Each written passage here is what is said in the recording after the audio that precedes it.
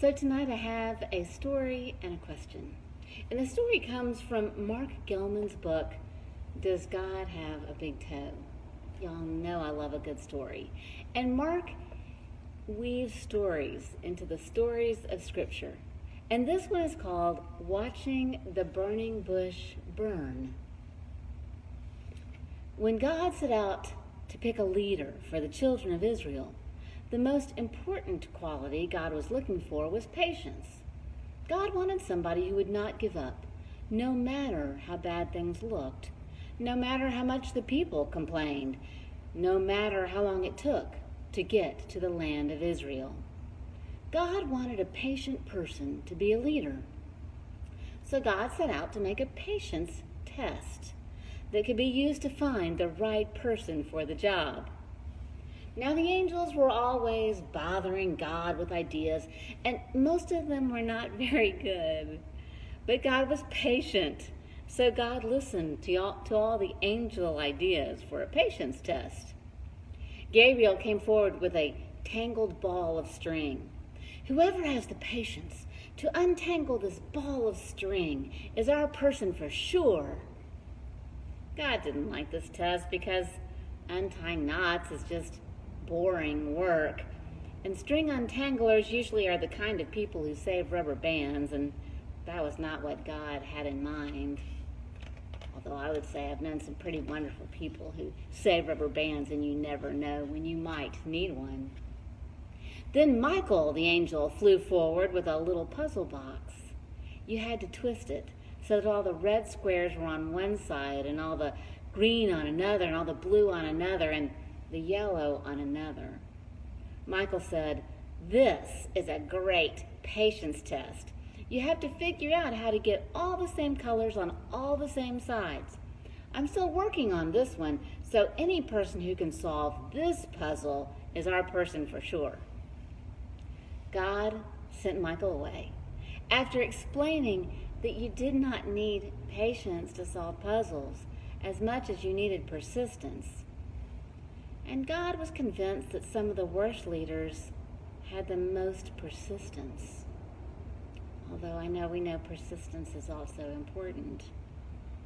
And sometimes maybe it's just about what we're persistent about. So then, of course, God had an idea that was the very best patience test of all. God caused a bush to start burning in the desert just near where some shepherds were pasturing their flocks. A few shepherds passed it and walked away.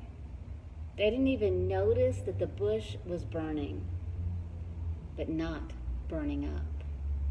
Bushes are not special, and bushes on fire are not that special, so nobody took the time to sit long enough to watch a miracle happen. Moses, who had run away from the palace and become a shepherd, saw the bush and sat down on the ground and watched. Moses watched and watched and saw that the bush's leaves were burned off and the bush's branches were black, just like an ordinary burning bush. The only thing different about this burning bush was that it did not burn up. It just continued to burn and burn, and the branches never fell down in a heap, and the fire never went out. And Moses was the only one who waited long enough to notice. Moses tried to get the other shepherds to come over and watch the bush with him, but they all had better things to do. Moses also had better things to do, but he did not know it at the time.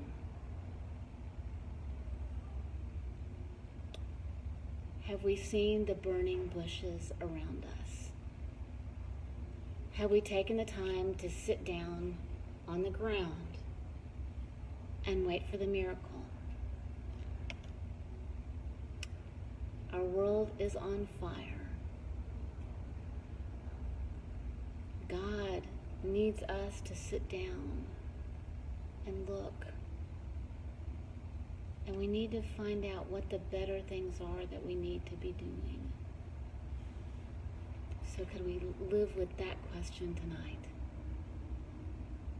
Take time to sit down on the ground and ask God to show you the miracle.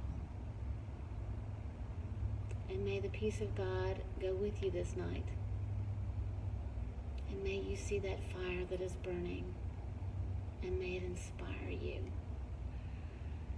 May that fire within you, that is the Spirit of God, flourish. The world needs you. Amen.